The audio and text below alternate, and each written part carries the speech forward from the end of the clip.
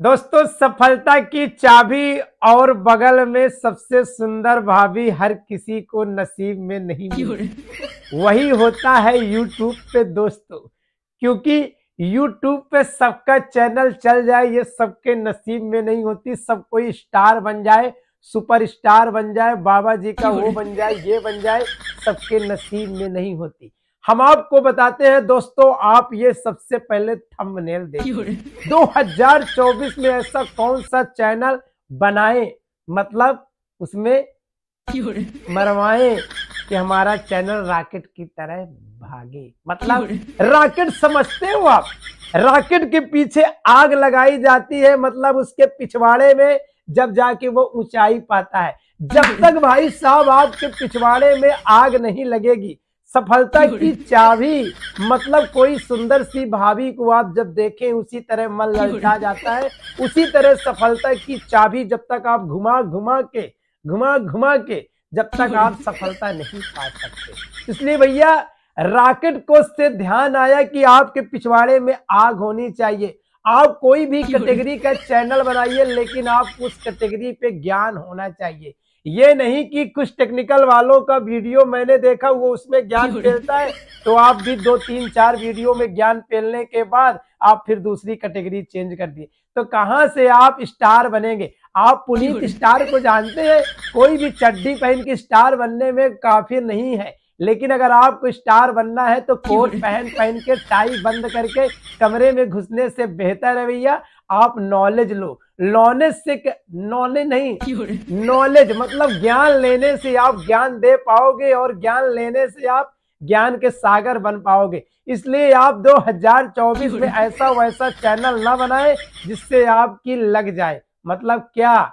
और हम आपको बता दें कुछ कुछ यूट्यूबर आपको भोसड़ मतलब चूतिया बनाने का काम करते हैं जरा बच के रहे। ज्ञान उतना लीजिए जितना हजम हो जाए खाना उतना खाइए जितना सुबह निकल पाए। उदाहरण के तौर पे अगर आप योगा करने जाते हैं तो एक बात ध्यान रखिएगा जुखाम वाले के आगे और दस्त वाले के पीछे कभी ना बढ़े वरना आपकी हुलिया टाइट हो जाएगी। इसलिए मैं यही कहता हूँ उदाहरण के तौर पे आप चैनल बनाइए लेकिन जब तक आपको ज्ञान ना हो तो कूदिए नहीं क्योंकि एक दो वीडियो बनाने से यूट्यूब पे आप महारथी नहीं बनेंगे। हाँ टेक्निकल वालों का ज्ञान लेने से आप यूट्यूबर नहीं बनेंगे, क्योंकि वहाँ तो भोषण बनाया जाता है, क्योंकि आप बेवकूफ़ बनते हो। और बाबा जी का मिलता है आपको क्या? समझ रहे हैं?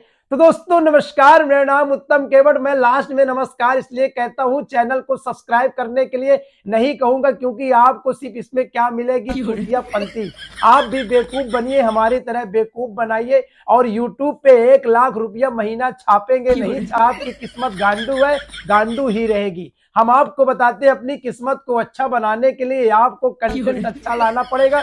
यूट्यूब में दिन रात मरानी पड़ेगी तब जाके आपको यूट्यूब पे सफलता मिलेगी। ये ऐसा वैसा नहीं है कि दार भात खिचड़ी खाया मस्त रहा स्वस्थ रहा आनंद रहा लेकिन एक बात ध्यान रखिएगा मराना कहीं भी पड़ता है लेकिन एक जगह मराने से क्या होता है कि अच्छा कंटेंट बनता है और अच्छा काम होता है। इसलिए हमारे पूर्वज कहते हैं कि एक सादे सब सदे सब सादे सब जाए।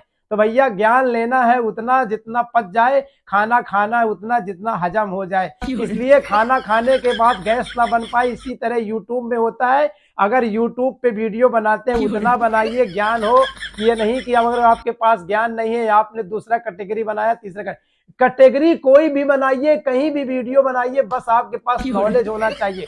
कॉमेडी बनाइए इंटरटेनमेंट बनाइए टेक्निकल बनाइए नॉलेज बनाइए अनबॉक्सिंग करिए ब्लॉगिंग करिए कुछ भी करिए चाहे नीचे से मरवाइए चाहे ऊपर से करिए लेकिन आपको एक्सपीरियंस होना चाहिए। मैं नहीं कहता कि आपको शुरू में होना चाहिए। कैमरा सैमरा खरीदने की ज़रूरत नहीं है बड़ा माइक खरीदने की ज़रूरत नहीं है कहीं भी हो गढ़हीन में बैठे हो वहीं से वीडियो बनाना स्टार्ट करो लेकिन वीडियो बनाओ। क्योंकि यही होता है फंडा। पहले नदी में कूदो बाद में तैरना सीख जाओगे समझ जाओ? ये नहीं कि तैरना आता नहीं है न कूदा। ऐसा नहीं चलेगा भैया ज्ञान बहुत है लेकिन हम आपको बाद में बताएँगे वीडियो पसंद आए तो चैनल सब्सक्राइब करना क्योंकि हम बताएँगे कुछ लोग कैसा झूठ बेवकूफ़ बनाते हैं।